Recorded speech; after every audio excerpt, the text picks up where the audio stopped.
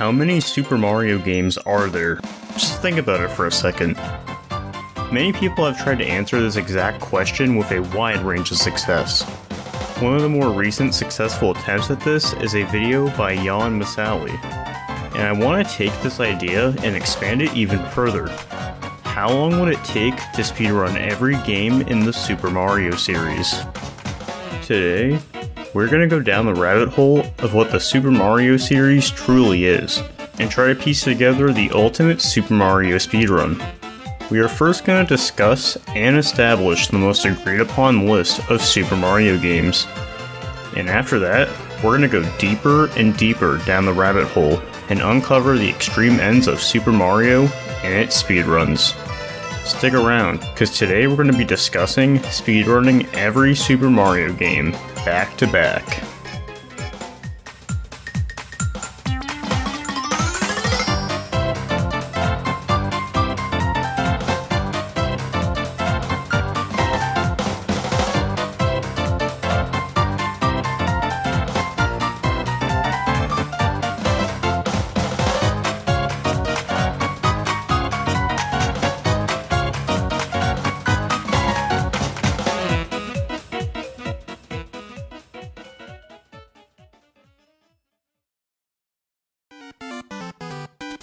So, what's a Super Mario game, and what isn't?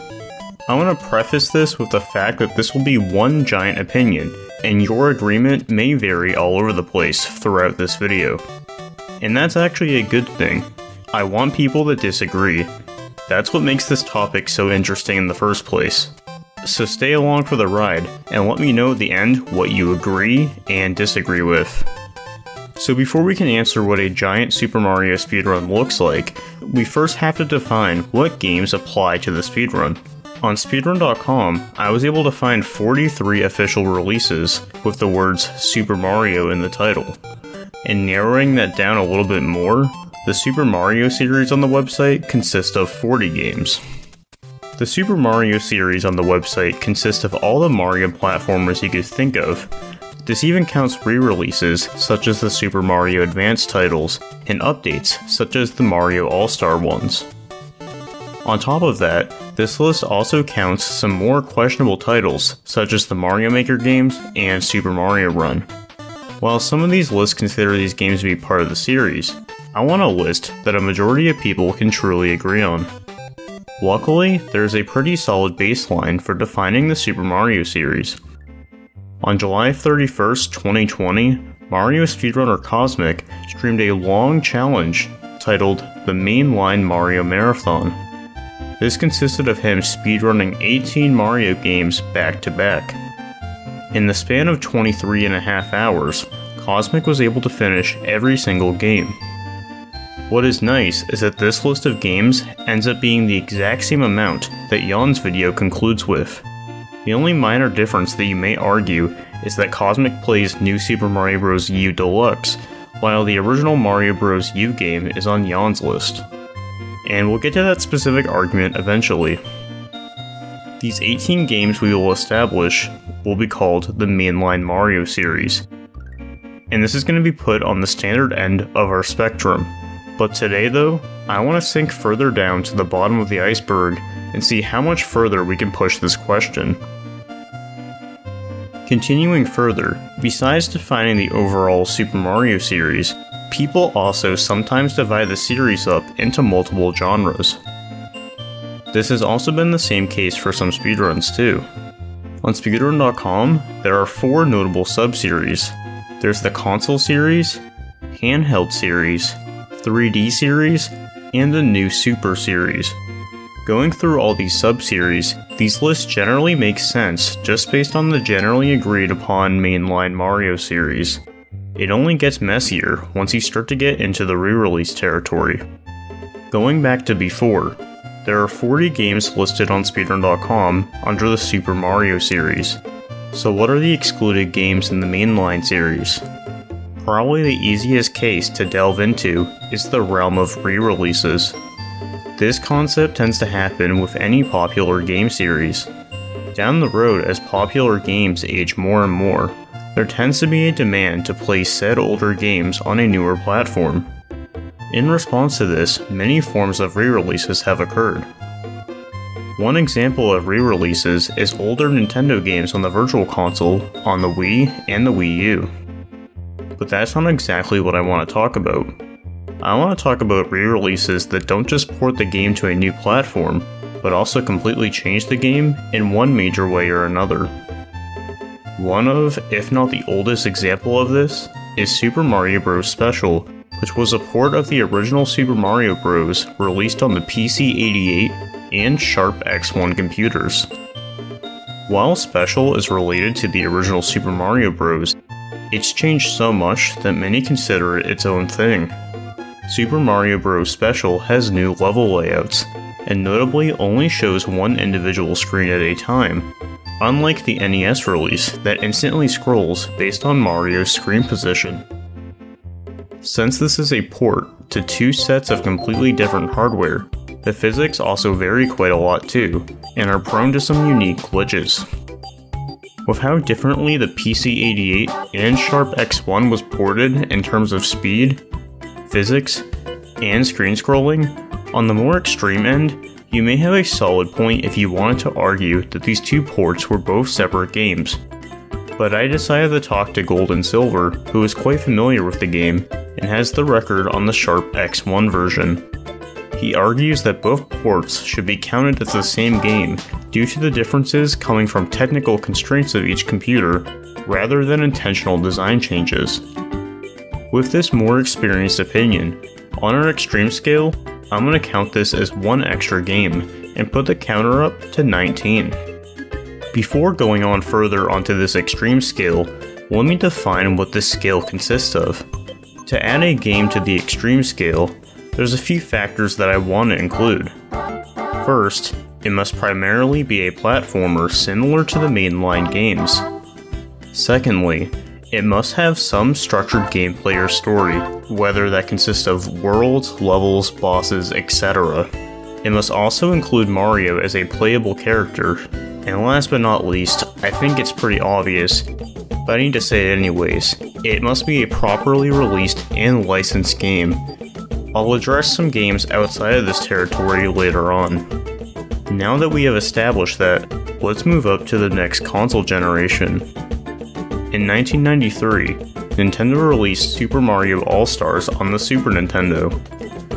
This game contains remakes of Nintendo's four Super Mario games on the NES and Famicom Super Mario Bros. 1, 2, Lost Levels, and 3. This was notably the first time American players could play the Japanese Super Mario Bros. 2, which also became the Lost Levels. So does this count as a separate game? This is a weird route to go down. All four games on this cartridge were previously released, so what's different here? The most notable difference is the major 16-bit graphic overhaul, but some games have more than that. Try playing the original Super Mario Bros. and then try playing it on All-Stars. Both the physics and hitboxes vary quite a bit. In fact, all four games on this cart have separate speedrun categories just for the All-Stars version so they are separate runs, but should they be separate games run in this hypothetical ultimate setting? Before I answer that, there's two more pieces to the puzzle.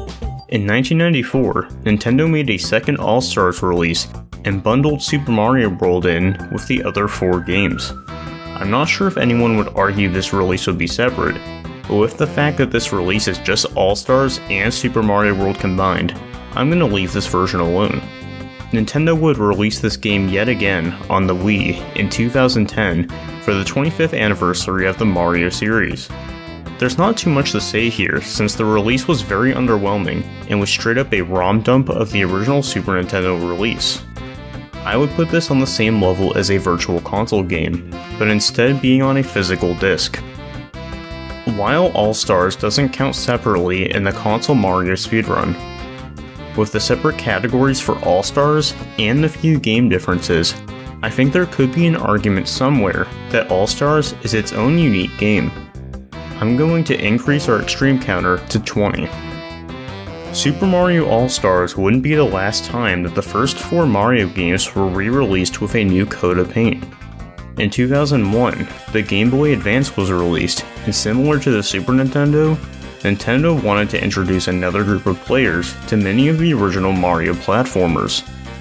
From the span of 2001 to 2003, Nintendo would port and re-release Super Mario Bros. 1, 2, 3, and World, with many minor tweaks, as well as new modes and bonuses. While at its core, these games have the same original levels, these releases have quite more than just that. For example, the game I'm most familiar with, Super Mario World, has quite a lot new in store. Unlike the original, this port has Dragon Coins and checkpoints in every single level. Playing as Luigi also unlocks a completely new experience with floaty physics similar to Super Mario Bros. 2.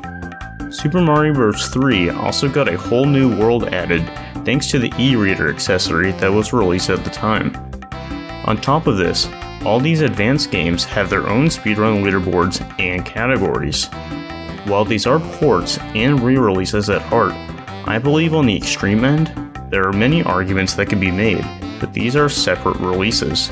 For the sake of extremes, I'm going to increase our counter to 24 for each game in this series.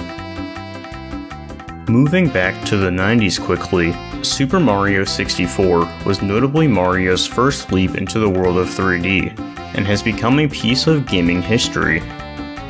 Anyone growing up with a DS in the early 2000s may be familiar with one of its launch titles, which was Super Mario 64 DS.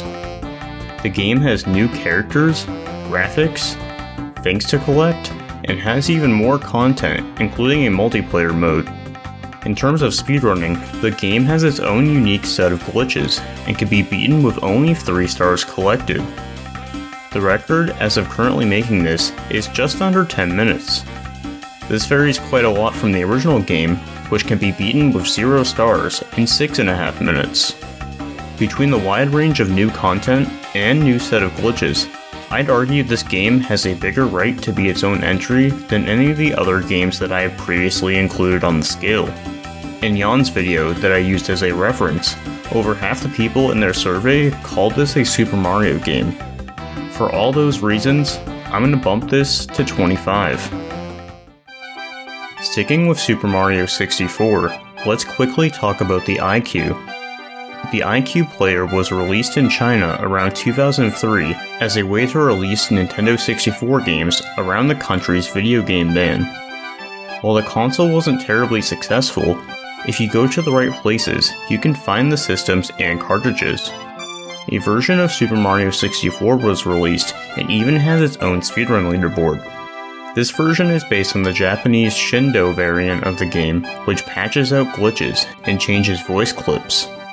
The only other changes to the version of the game is a lack of rumble support, as well as a couple minor patches that relate to how the game saves and injects itself. While a separate leaderboard exists, the changes are so minor that I'm not going to count this as a separate game. Moving a decade forward, let's tackle the headache that would ensue in the new Super Mario Bros. sub-series. As a launch title for the notorious Wii U, New Super Mario Bros. U was yet another establishment in the series. While this game generally doesn't have a negative association, many may say this game feels quite uninspired and very similar to previous entries. Whether you think that or not, this game would spawn many more outlier titles. Half a year later, the game would get DLC under the name New Super Luigi U. To add on to this, not too long after, the DLC got its own separate physical release. This turned into there being three game versions Vanilla New Super Mario Bros. U, New Super Mario Bros. U plus Luigi U, and just New Super Luigi U. To make it even worse, due to the Wii U not doing too well, in 2019, Nintendo re-released the game again on the Switch, called it New Super Mario Bros. U Deluxe. So now we have four variants of the game. Which ones are their own games and which ones are not? Well, this exact debate came up in Jan's video, and to save yourself a headache, I don't want to go too far into this, but to simplify things, according to both Nintendo of America and Japan, New Super Mario Bros. U and New Super Mario Bros. U Deluxe are labeled as separate games. So to appease any angry people out there, let's increase the extreme game counter by 1, which now totals 26. Continuing on the trend of Mario and the word deluxe, many forget about this, but in 1999, Nintendo released a port of both Super Mario Bros. and the Lost Levels onto the Game Boy Color under the title Super Mario Bros. Deluxe. Both games vary quite a lot from their NES counterparts, and due to the smaller screen, the camera is zoomed in a lot more, and Mario's physics are also altered. On top of that, many tweaks to the games were made, such as patching out glitches and different enemy behaviors. There are also bonus challenge modes that players can sink additional hours into. In relation to speedruns, they vary quite a lot too, while this version hasn't been run as much as the original games, just watching Super Mario Bros. Any percent should make it fairly obvious how unique this port is. In this case, I am now making the extreme game counter 27. There are two more recent additions to the re-release category that I would like to tackle before we move on. The first of them being Super Mario 3D All-Stars, 3D All-Stars was a port of Super Mario 64, Super Mario Sunshine, and Super Mario Galaxy, all bundled together on the Switch. Besides the complaint of it being a limited release, the other frustrating thing that many people complained about was the lack of additional content. Nintendo pretty much slapped these three games onto a Switch cartridge and called it a day. Due to the simple fact, I'm not going to include this bundle as a separate game for our counter. The second Switch release I want to dive into is Super Mario 3D World plus Bowser's Fury. Like New Super Mario Bros. U Deluxe, Bowser's Fury is a Switch release of Super Mario 3D World, but additionally includes a new game mode dubbed Bowser's Fury. This new mode has over 100 shrines to collect and has its own separate speedrun page and category. Due to this new mode adding a whole new branch to the game, I think this argument is similar enough to New Super Mario Bros. U Deluxe and Luigi U, so I'm going to bring the extreme counter up to 28. With Super Mario Bros. being one of the most influential and iconic games of all time, is expected for the game to have many iterations and re-releases. We already touched on some of these, such as Super Mario Bros. Special and Deluxe, but there's still a few more we need to dig into. Super Mario Bros. Special, which we already covered, was released in 1986. That same year, two other versions of Super Mario Bros. would also hit the market. The first of these games would be Versus Super Mario Bros., an arcade adaptation of the game. This is very much Super Mario Bros., but as a twist, some of the levels are taken from the Lost Levels, and also have different layouts. There is a separate speedrun leaderboard for this, which many people have run, thanks to it simply being ported to a ROM on the NES. While the game is arguably similar to Mario 1, there are some arguments to be made that this can be its own separate entry. The any percent speedrun on its own varies quite a bit, and has a warp to World 6 instead of 4. Around December of the same year, All Night Nippon Super Mario Bros. would also be released in limited quantities. This game was tied to a Japanese radio contest celebrating 20 years of their program. There was only around 3,000 copies of the game produced. All Night Nippon is similar to Versus in terms of random level layouts and Lost Levels content, on top of this, the game also has physics from the Lost Levels. With this game having a separate leaderboard, new sprites, different physics, as well as different level changes than Versus, there is still plenty of room here to possibly count this as its own entry in the series. With both these 1986 releases, our extreme counter is now rounded to 30. Like I stated earlier, there's not too much to say about the Virtual Console releases. They are the exact same game, emulated on another system, but there's still one more Super Mario Bros. variant that I want to talk about, and this is Super Mario Bros. 35. This was a limited time Battle Royale-esque game, where 35 players went head to head to see who could survive the longest playing Super Mario Bros. There were many features that made this more exciting than a traditional Mario platformer, such as an item roulette and being able to send enemies to other opponents' screens. This game has been unplayable since April 1st of 2021. While yes, there is some traditional Mario platforming here, there's not too much more. It's basically online Super Mario Bros. with enemies popping up in your face. With no real way to speedrun this, as well as not being able to play this at all anymore, this game is really hard to add to any of our lists.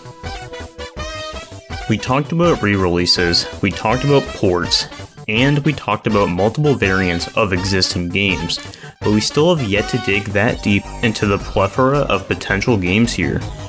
With Mario being such a huge name, over the years there have been so many spin-offs, and while we will get into the list of other Mario series later, there are still a few more specific outlier games that I want to tackle. Throughout the 90s, Nintendo released many one-off Mario titles, mostly being educational games. There's the notorious Mario is Missing, as well as the lesser known titles such as Mario's Time Machine and the Mario's Early Years trilogy. And while some of these games may have tiny bits of platforming, I think we can all agree that these games really aren't platformers. Hotel Mario is also listed under the Super Mario series on Speedrun.com, but it isn't a platformer and it's not even remotely close to a traditional mainline Super Mario game. Let me know if there is any really niche argument about any of the Mario edutainment games, but for the sake of today, I'll be moving on from these. Going a bit more modern again, there are a few spin-off Super Mario titles that I think are worth talking about. Ever since the spawn of the original Super Mario Bros., every child's dream has been having the ability to create their own Mario levels. Even as early as the 80s, people have found ways to hack Mario platformers into their own unique creations, and over time has spawned many unique ROM hacking communities. Nintendo eventually wanted to tap into this wish, and in 2015 they released Super Mario Maker on the Wii U. The game allowed players to upload their own levels for others to play online, using four different Mario styles, Putting this title into the eye of today's topic, this game is not a traditional Mario title in the fashion that it's not a full normal Super Mario platforming game. But I do think there still is an argument here to be made. While this game mostly consists of playing levels made by others, there are some pre-made levels in the game. There is a mode in the game called 10 Mario Challenge, which consists of 10 pre-made courses that introduce the player to what they can create using the game's engine. With this not requiring an online connection and being comprised of the same levels for everyone, I think there is an argument to add this to our extreme side. It's a consistent Super Mario platforming experience that is comparable to traditional games in the series. That increases our extreme game count to 31. Before moving much forward, there is even more to talk about in regards to Super Mario Maker, just a year after the Wii U release, Nintendo also released a version on the 3DS. This version of the game is very limited, and doesn't allow you to upload your own levels online. There is one part of the game that's debatably fleshed out more compared to the Wii U though. The 3DS version has a bigger offline challenge mode, going by the name Super Mario Challenge. This consists of 19 worlds and 100 levels in total. With this being a more proper story mode and full game compared to the Wii U release, I think it's only fair to count this game as well, which puts our counter at 32. Already talking about both the Wii U and 3DS release, you can probably see where I'm heading next year. In 2019, Nintendo made a follow-up to Super Mario Maker and released a sequel on the Switch. I guess Nintendo realized how much better the offline mode in the 3DS version was because in Super Mario Maker 2, it has a more properly fleshed out story mode. This mode even has more than the 3DS, clocking in at 120 total levels. In conclusion, I am adding every single Mario Maker game to our extreme list, which now sits at 33. There is one more Super Mario title that I want to touch on before we get even more obscure, and that would be Super Mario Run. Over the past handful of years, many traditional video game companies have tried their hands at mobile gaming, and that includes Nintendo. Super Mario Run is an auto side scrolling platformer that is free to play but requires a one time payment to unlock the full game. Believe it or not, there is a proper speedrun community for the game, and many time saving strategies have been developed. What's interesting too is that you can play any level in any order, which is a major factor for routing. Clocking in at 24 levels, while it's a unique entry to the series, I think it's close enough to a traditional Super Mario platformer that I'm going to tick the extreme counter up to 34. At this point, I believe I have officially included every game in my extreme counter using the factors that I have established at the very beginning. If you have any other suggestions you think I missed, I'd love for you to share in the comments, but before you do, let me tackle a few other games that you may mention. While I know at the beginning I established the fact that I am excluding any unofficial or unreleased game, I feel there's at least one title that I should address. With Philips in the 90s having the rights to use Nintendo's properties for their CDI console, there was eventually talks of making a Super Mario platformer. A proposed sequel to Super Mario World was formed, but ran into a lot of major problems. With many developers abandoning the project and the CDI doing poorly in sales, Super Mario's Wacky World didn't get too far past a broken tech demo with a basic level select screen. Interestingly enough, there is a speedrun.com page for this demo where a person did a casual run on real hardware. They turned the run into having the goal of getting as far as possible to the right side of the screen. While this is cool, due to its janky and unofficial status, there's not much use for this game in today's project. There were many thoughts I had when first considering games for this project, and one of the first things I thought of was the phrase Super Mario. There are so many games with the phrase Super Mario in it that I haven't even mentioned today at all. Are Super Mario games part of the Super Mario series? I know that sounds weird, but think about it. I have already set my extreme limits today at just platformers, but some may argue that certain other Super Mario games could be part of the series. Many others, myself included, would count some of these titles as spin off series.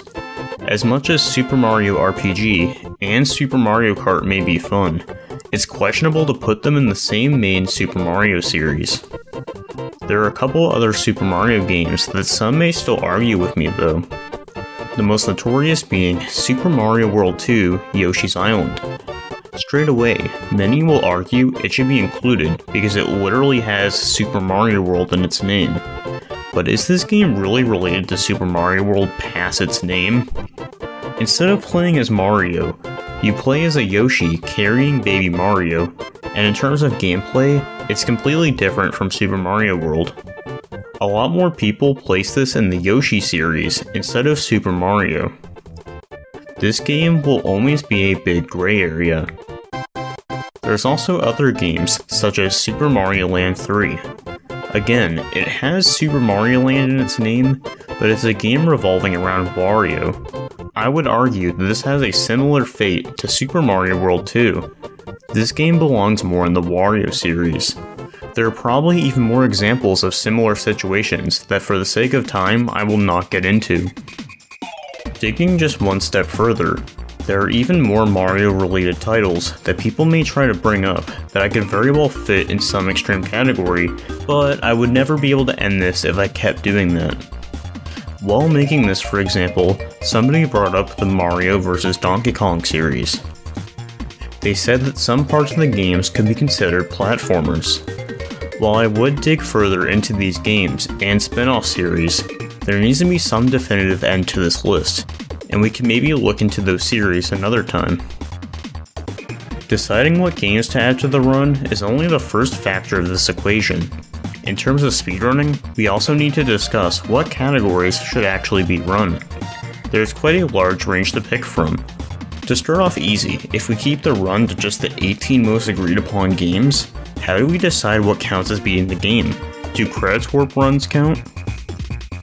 The Super Mario console series does the credits warp runs in both Super Mario Bros. 3 and Super Mario World, and the Super Mario handheld series any percent does the credits warp in Super Mario Land 2. I think there is more than enough evidence to show that running credits warp is a realistic task for a marathon run. Feel free to write about how these runs are cheating and aren't real, or whatever you want to say this week, but I'm going to move on since I've been speedrunning for closer to 7 years, so I kinda know what I'm talking about. There are also some other categories that can be debated for different games. Firstly, in Super Mario Bros. Special, we have the option of PC88 or Sharp X1. Currently, the fastest playthrough on the leaderboard is on PC88, so for today we'll simply use that. Secondly, Super Mario All-Stars is a bit of a weird case due to it being a game compilation rather than just a core game. I think it's fair in this case to just run all four games included on the cartridge, and there's actually an any percent all four games category that clocks in at around 33 minutes, so I don't think that's too much of a problem. Next, for Super Mario Bros. Deluxe on the Game Boy Color, this is a similar case to All Stars. The game includes both Super Mario Bros. and the Lost Levels. There currently isn't a category for both games back to back, but we can simply piece both any percent runs together. I don't think it makes sense to run one of the games, but not the other.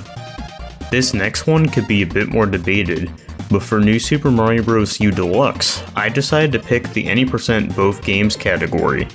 This consists of running the core New Super Mario Bros. U game, as well as the content from New Super Luigi U. I feel like arguments could be made either way here, so let's just go on the more extreme end. Lastly, for Bowser's Fury, I picked any percent no amiibo.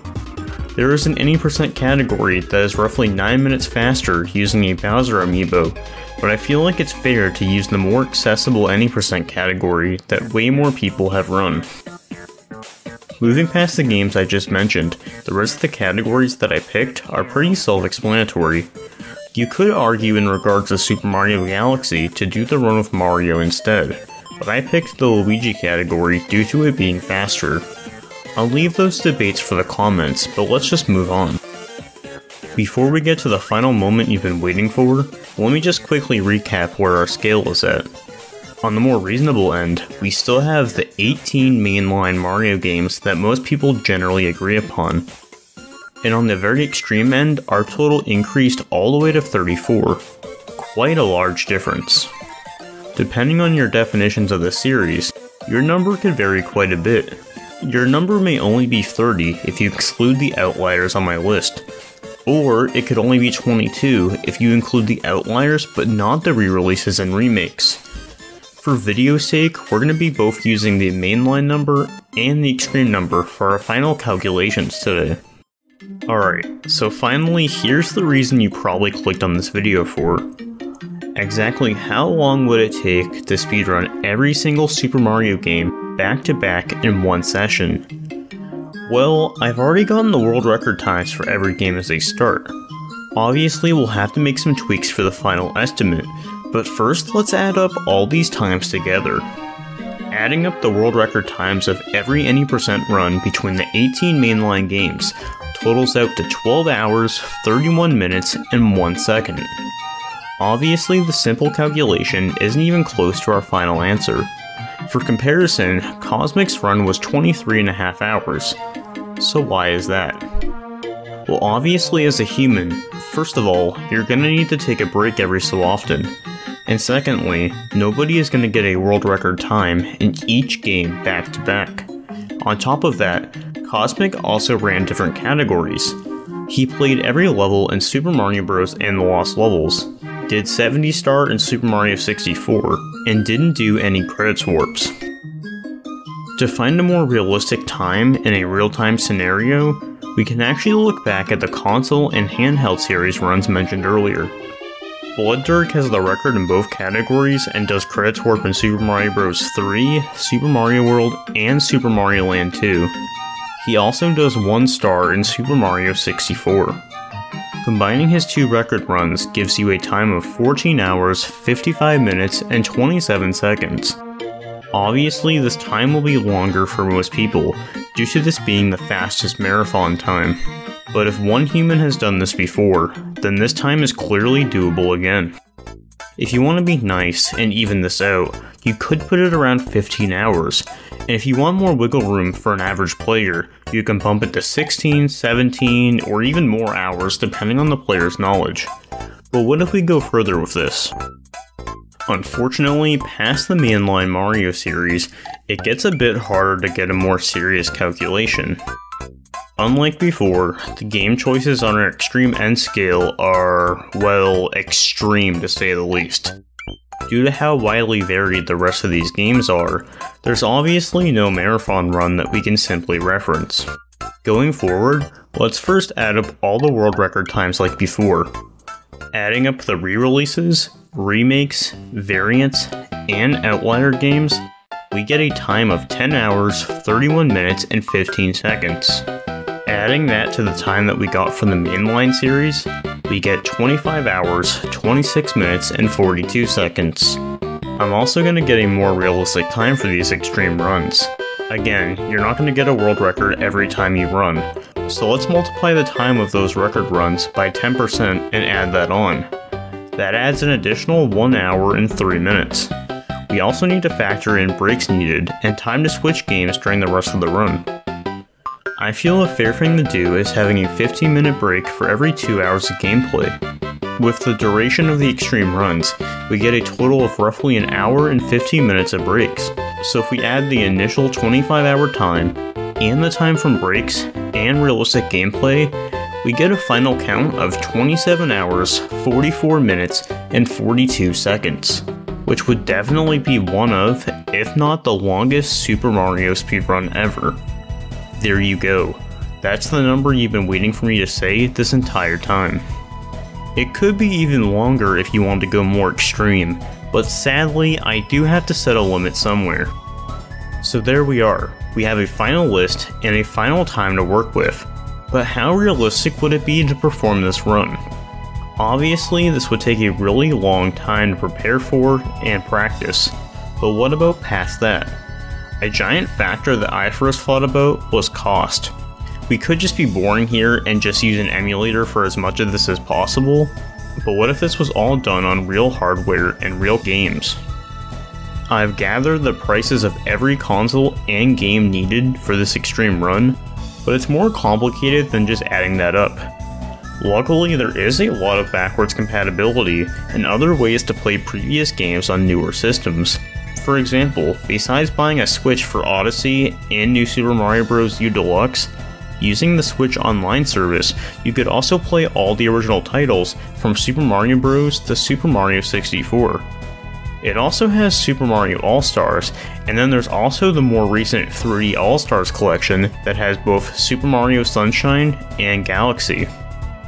There are also other scenarios, such as backwards compatibility, for example on the Wii, which can play GameCube games, and can also do the original titles with its Virtual Console service. But let's go more extreme for this. First, let's calculate the cost of running the mainline series if you had to buy every original game and every original console.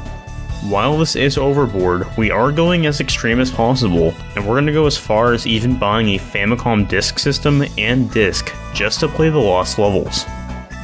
Obviously these prices will change over time, but using pricecharting.com and eBay sold listings for average prices, the total cost right now for all the games would be roughly $300 and the consoles adding up to at least another $1,300. So in total, if you want to go extreme and run the mainline series on all original games and hardware, you'd be coughing up at least roughly $1,600. And to be clear, I am using US dollars for these calculations. This also doesn't factor if someone wants to record and stream this as proof, but that's digging way too far into this, so let's just not even do that. While I don't want to get more extreme with the equipment needed to set up, we can still get more extreme with the games. So let's just hypothetically say we had to buy all the extra games and the extra consoles needed. Well, if we do that, we get a total of 860 for the games, and the extra consoles adding up to 360. But before I add all this up, calculating the prices for the extreme counter was a bit harder to solve. The biggest problem was Super Mario Bros. Special. Both the PC-88 and Sharp X1 versions of the game seem to have zero sold listings on eBay within recent years. The only thing that comes up is Mario Bros. Special, which is instead based on the Mario arcade game. Going back to someone I talked to from earlier, GoldenSilver, who's familiar with the games, has informed me that he remembers seeing listings of the Sharp X1 version at $500 multiple years ago. So, with the lack of listings available, I'm just gonna simply use that price. So at the end of the day, combining everything together, to do an extreme Super Mario speedrun based on today's conditions as of making this video, in total, it would cost $2,840 to play on all original hardware with original games. So that's it, a nearly 28 hour speedrun with a total cost around $3,000. While this is quite excessive, I did call this extreme for quite a reason. Maybe someday someone with the time, money, and willpower will actually perform the extreme Super Mario run. But until then, we should probably focus on the more realistic run, speedrunning the mainline Super Mario series. Who will be the second person to speedrun all these games back to back in one session? And how extreme do you think this run could truly get? I'd love to know what you think in the comments down below. Thank you for watching.